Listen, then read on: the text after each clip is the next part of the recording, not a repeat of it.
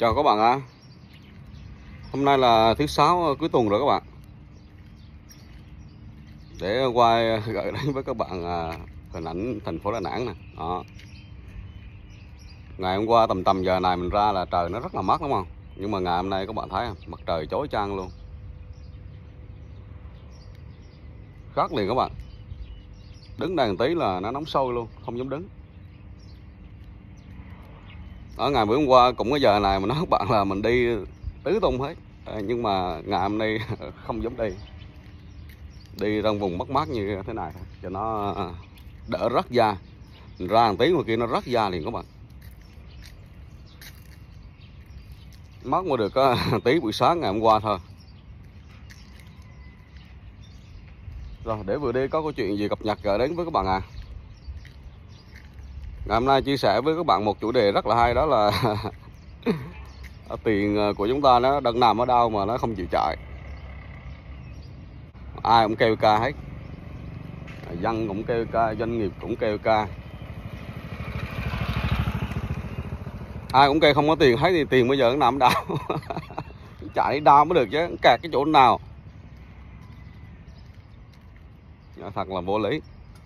Đều vừa rồi hạ lại suất, này nọ kích đủ loại kích hết, nhưng mà nó vẫn không chạy được.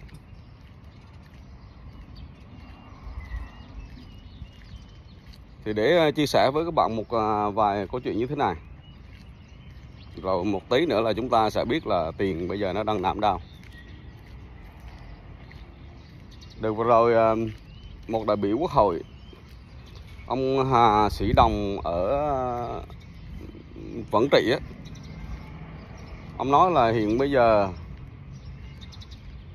có vốn đầu tư công á, giải ngân rất là chậm chạp cho nên toàn bộ số tiền đó nó không trả ra nền kinh tế được. Ông nói rằng đây là một trong những cái điểm ngãn cái cục máu đông mà nó đến mức nó lãng phí. Lãng phí là số tiền đó là số tiền số tiền thuế hay là số tiền phát hành trái phiếu tiền thuế là tiền từ ờ, của dân của doanh nghiệp. Tiền phát hành ờ, trái phiếu. Thì cũng đó là tiền của ờ, xã hội hết. À, tất cả mọi thứ là hiện bây giờ nó đang nằm ở kho bạc nhà nước đó. Kho bạc nhà nước không thể giải ngân được tại vì đầu tư công của chúng ta giải ngân một cách chậm chạp. Đó.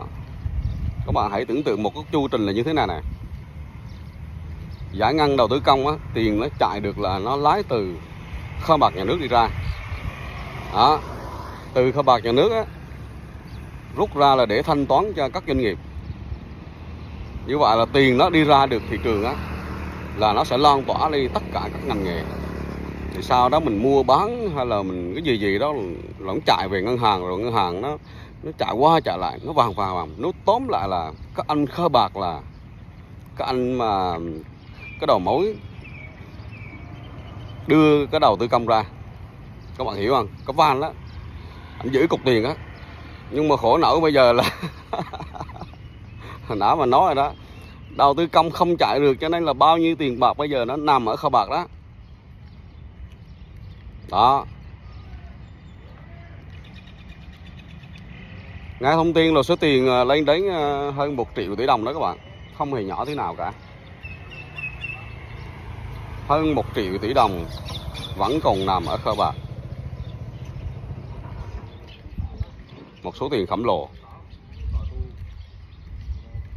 Một cái điều mà nó rất là nghịch lý, nó đại biểu chia sẻ đó.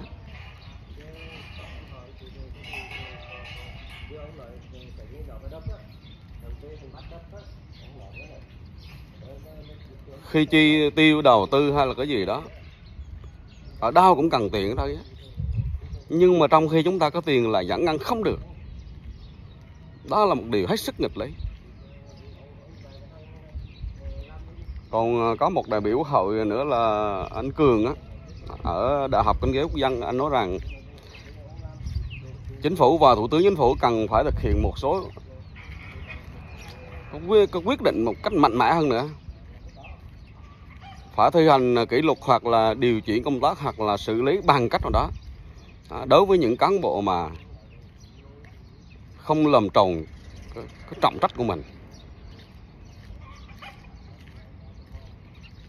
cứ nói đến đầu tư công là anh nào nói à, nói mạnh miệng vậy thôi chứ thời gian báo cáo là coi như là chậm hết. Năm nay mình thấy ờ, bộ tài chính với ờ, bên chính phủ mình ờ, phân khai vốn cũng nhanh đó các bạn. Cuối tháng 1 đầu tháng 2 là đã có một cái danh mục cơ bản hết rồi. Nó phân được 70 80 phần trăm là nhiều rồi. Nhưng mà tổng kết là quý một là à, nhiều anh thì chưa chơi cái đồng nào hết trơn. Đó, anh thành phố Hồ Chí Minh đào tàu thì chơi được uh, không chấm mái quá chậm.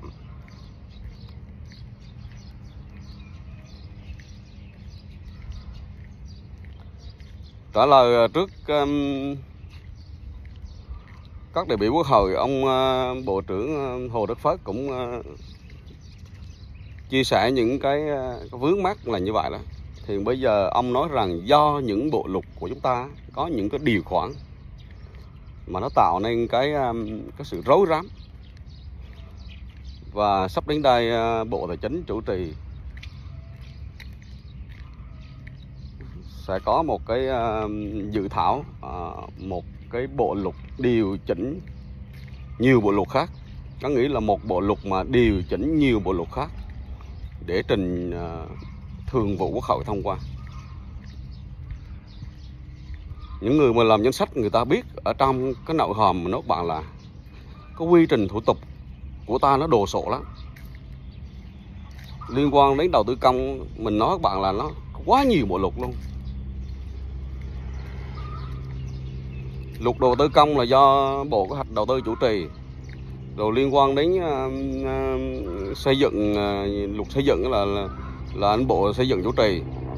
Rồi luật gì đó của bộ tài nguyên môi trường chủ trì.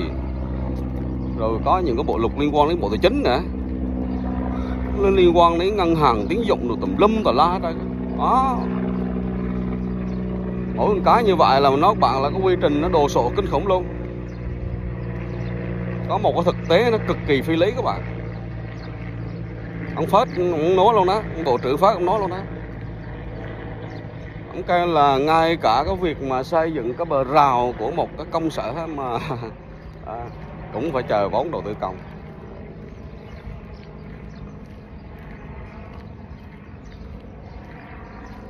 Mà chờ vốn đầu tư công là làm thủ tục nó rất là rườm rà rối rắm.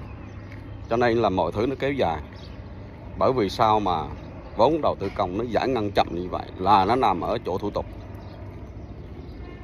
Cho nên sắp đến đây um, bộ tài chính cũng chủ trì à, có một cái um, cái nghị quyết trình quốc hội để thông qua làm thí điểm là những cái um, cái sửa chữa công sở bình thường á, mà vốn dưới 15 tỷ là dùng ngân sách thường xuyên để làm, chứ không chờ có vốn đầu tư công dùng ngân sách ra thường xuyên thì cái thủ tục nó sẽ đơn giản hơn rất là nhiều.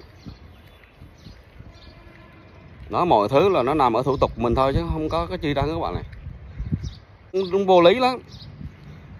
Thì tiền của dân ờ, thu thuế, tiền của doanh nghiệp đồ, thu thuế bây giờ chạy không được. Đúng ra là ăn chạy là nó tạo nên một cái vòng cái vòng lặp như thế nào các bạn đó hắn chạy lần mà là vòng vàng như thế này. Tiền nó đi ra nền kinh tế còn bây giờ tiền nó đâu ra nền kinh tế đâu các bạn đã biết là cái sức cào của ờ, xã hội á, nó đến từ bốn cái nguồn. Thứ nhất là chi tiêu của người dân. Thứ hai là chi tiêu của doanh nghiệp. Ví dụ như là doanh nghiệp mà chi ra để ờ, đầu tư nhà xưởng cơ sở hạ tầng đó thứ ba nữa là chi đầu tư công. Đầu tư công là cái nãy mình nói đó. Cái thứ tư nữa là xuất khẩu ròng thì trong bốn cái đó chúng ta biết là cái đầu tư công là vô cùng quan trọng là vì sao? Nó tạo nên một cái dòng tiền lớn nó mang tính chất dẫn dắt. Chứ còn uh, chi tiêu của người dân là hiện bây giờ giảm sút rồi. Đó thu nhập bây giờ giảm sút nhiều hơn. Công nhân không có việc làm cho nên họ không có nhu cầu tiêu dùng để giảm sút. Còn à, doanh nghiệp thì họ co cùng trở lại người ta thấy kinh tế khó khăn quá cho nên họ co cụm trở lại. Họ không có đầu tư, họ không có sản xuất gì hết. Chờ thời điểm nào mọi thứ nó khó khăn nó qua thì họ mới tiếp tục qua trở lại. Cho nên bây giờ tất cả mọi thứ là nhằm ở cái đầu tư công.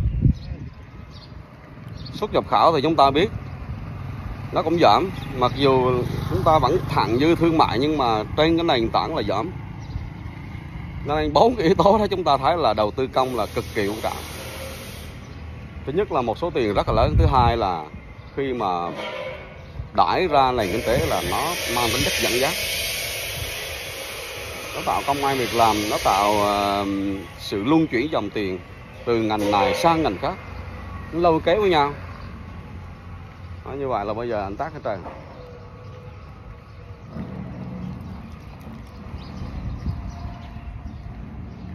Đó bây giờ là các bạn đã hiểu là tiền xã hội của chúng ta là đang nằm đâu chứ này? Đó.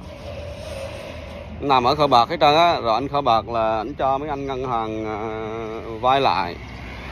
Mấy anh ngân hàng vay lại cũng về cắt ở trong uh, cái của anh chứ đâu có cho vay được đâu. Không cho vay được tại vì người dân không có nhu cầu vay. Doanh nghiệp không có nhu cầu vay. Thì tiền cuối cùng mà ảnh là quay ngược về các anh kho bạc bằng cái hình thức là anh mua trái phiếu. Đó. Anh mua trái phiếu là anh lấy trái phiếu về anh đưa tiền về ngược lại bên kho bạc nhà nước. Đó, đó. tiền chạy lòng và lần vàng trong cái kho bạc qua ngân hàng thôi chứ tiền nó đâu ra ngoài xã hội đâu. Đó, như vậy là một ờ, số tiền khổng lồ của chúng ta ờ, kỳ vọng. Hiện bây giờ nó đang nằm trong hệ thống kho bạc và hệ thống ngân hàng. Nó chưa trải ra nền kinh tế được cho nên vì sao chúng ta thấy kinh tế của chúng ta phát triển một cách ì ài vậy? Sức cầu của người dân của chúng ta vẫn còn yếu. Doanh nghiệp vẫn kêu ca. Mặc dù ngân hàng hạ lãi suất nhưng mà ngân hàng đi tìm ờ, khách vay tiền cũng không có. Đó. Nó tạo nên một cái vòng lẫn quẩn như vậy các bạn à, sắp đến đây mọi thứ làm sao đã kích cho được cái đầu tư công lên? Giải ngân phải uh, nhanh lên thủ tục phải giảm bớt chứ còn không như thế này là đầu tư công cuối năm cũng rất là khó. Khó có thể giải ngân hết được chắc chắn luôn. Rồi phải hạ bớt cái um, thuế VAT 10% xuống còn à, 8% để kích cái cào của người dân lên. Và thực hiện một số chính sách ưu đại thuế cho doanh nghiệp. Ưu đãi thì người dân người ta thấy đỡ áp lực về chi phí họ mạnh dạn người ta chi tiêu, người ta quay lại cái nguồn máy sản xuất. Tổng hợp rất nhiều giải pháp thì mới ờ, đưa cái dòng tiền nó chạy vào nền kinh tế. Nó mới giúp cho tình hình kinh tế hồi phục được, chứ còn không như thế này nó rất kỳ ải dập tầm tầm khoảng ờ, cuối tháng 6 là chúng ta sẽ có kết quả ờ, GDP là chúng ta sẽ biết nó như thế nào. Rồi, ngày nay mới có một vài thông tin chia sẻ với các bạn như vậy thôi. Bye chào các bạn.